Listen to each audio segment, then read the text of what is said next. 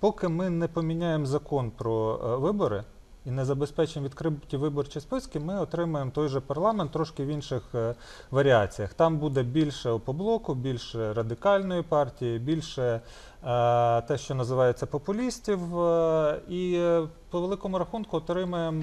Протипрезидентську більшість. Протипрезидентська більшість в парламенті автоматично призводить до е, перевиборів президента, і тоді просто про ці речі треба говорити спільно.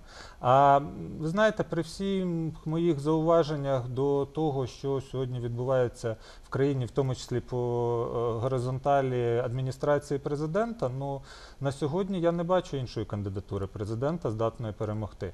І е, впевнений, що ці сценарії направлені на перевибори головнокомандуючого, і, і головне на ті істерії, процедури обвинувачення, бруд, які будуть в процесі виборів, це задумка Путіна і Кремля. І е, незважаючи на те, що дійсно треба вимагати від парламенту, і від уряду, і від президента більш ефективної роботи, треба розуміти ті ризики, які несе на собі перевибори.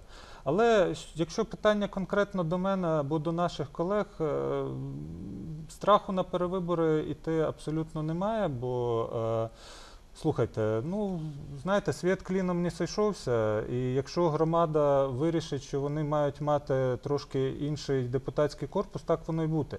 Е, не завдання бути депутатом, завдання жити в нормальній країні. Де будуть жити твої діти?